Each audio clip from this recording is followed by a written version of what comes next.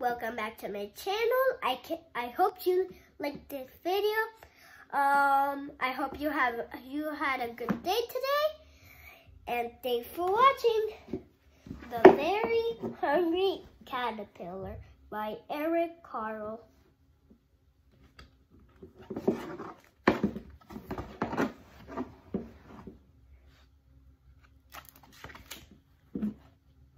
In the light of the moon, a little egg lay on a leaf.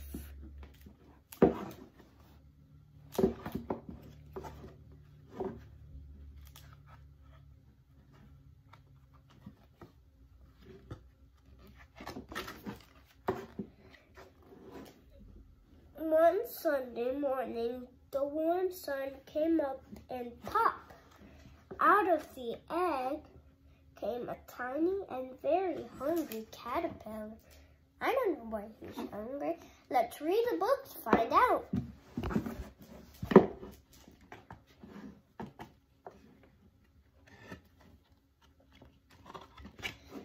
He started to look for some food. On Monday, he ate through one apple, but he was still hungry. On Tuesday, he ate through two pears, but he was still hungry. One, two, three.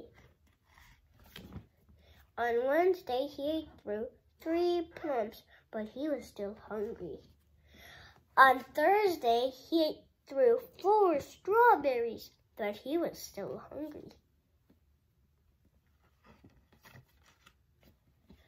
On Friday, he ate through five oranges, but he was still hungry.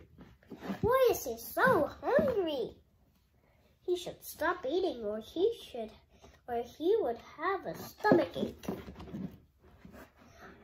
On Saturday he ate through one piece of chocolate cake, one ice cream, one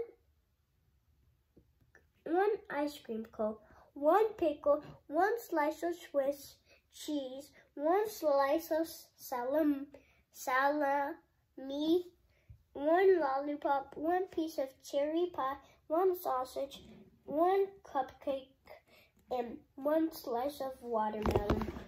Gee, that's a lot. The next day was Sunday again. The caterpillar ate through one nice green leaf. Wait, what? I think I skipped a page. Oh, that night he had a stomach ache. The next day was Sunday again. The caterpillar ate through one nice green leaf, and after that he felt much better. Now he wasn't hungry anymore, and he wasn't a little caterpillar anymore. He was a big, fat caterpillar.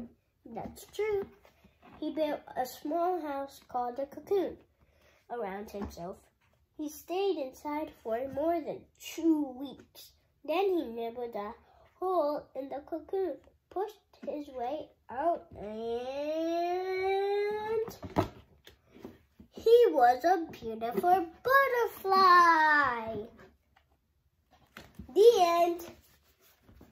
Thanks for watching this video. I hope you have a good day.